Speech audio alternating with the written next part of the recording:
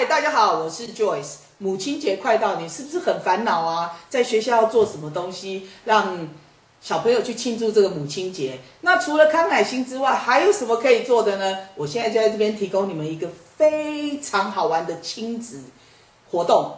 我就要为大家展示一下怎么做亲。首先呢，我准备了这个瓦楞纸，因为它是有波浪状的。所以我们叫它瓦楞纸，其实这个在书店里都买得到，或者文具店。那呃，我会准备两种不同的颜色，那等一下搭上去的话就会很好看。那另外呢，我还准备了这个东西，叫做有造型的亮片。那这个也是很容易就可以取得，而且也不会很贵。那它有各种不同的造型，那这等一下我们可以来装饰我们的相框。OK，那另外呢，还有这个，这个稍微要。花一点钱，但是也不是那么的贵，就是串珠啊，这些串珠有这样子的一个小珠珠啊，另外还有一些是写字的，OK，所以我今天呢，就是有准备了，就是我们在相框上面会写上 “Mommy I love you” 这几个字啊，所以我也准备了这几个字样。那另外呢？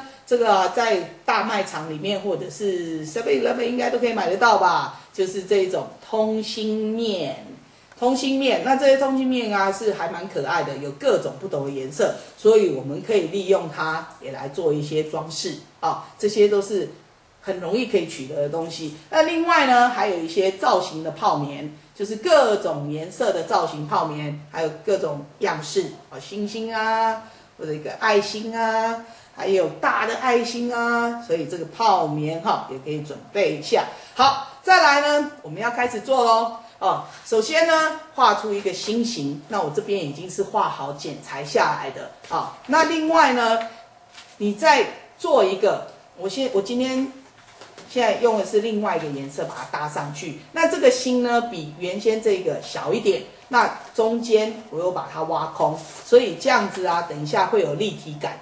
那这个要怎么做？这个基本上就是我们相框的这个框的部分啊，所以让它有层次感。那再来呢，我准备了双面胶。首先我们要将将这一个有镂空的部分，把它贴到这个上面。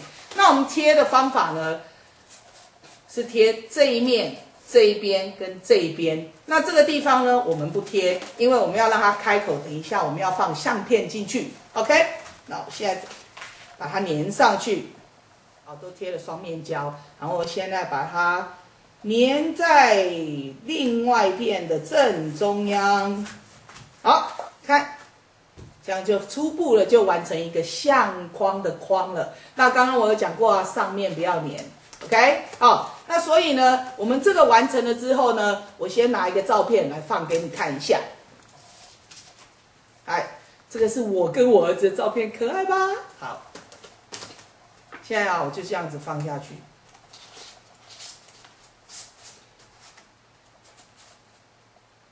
哎，这样是不是很方便？那这样现在啊，看起来就是初步的就完成了，可是还是看起来没有什么，没有什么很丰富的样子。所以现在呢，就就用我刚刚准备的一些东西来帮他做旁边的造型。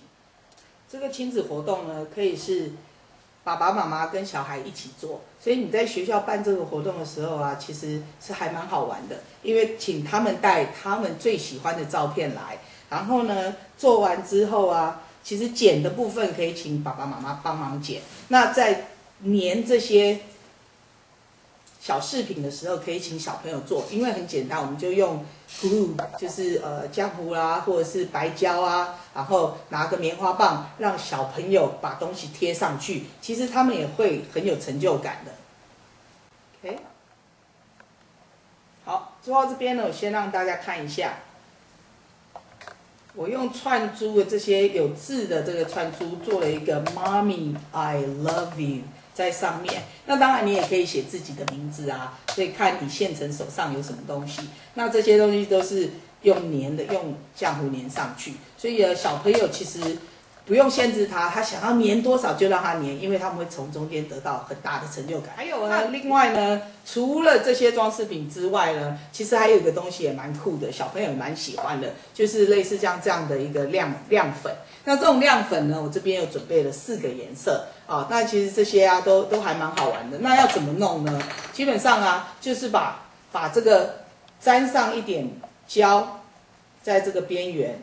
在那个我们的瓦楞纸上面，然后呢，只要打开用转的哦，它这个有洞，好像胡椒罐一样，那你就把它撒下去，看，它就自动粘上去了。小朋友会觉得很过瘾哦。其实这个也是一个很好的装饰的东西，你可以试试看。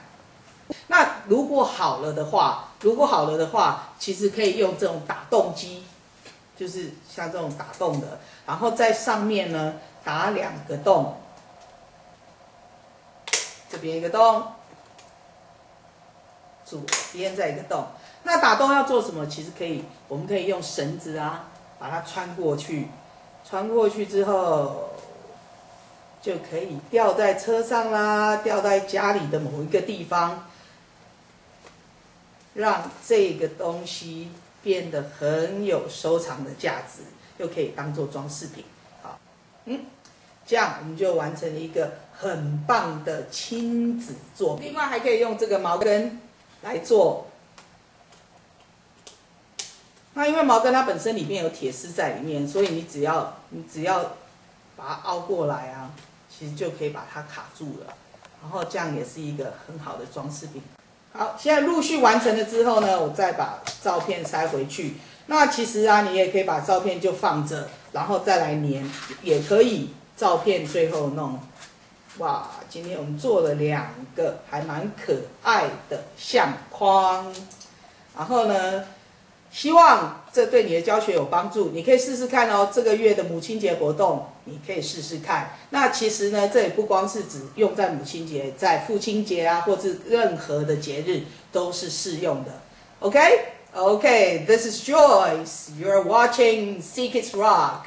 I'll see you next time.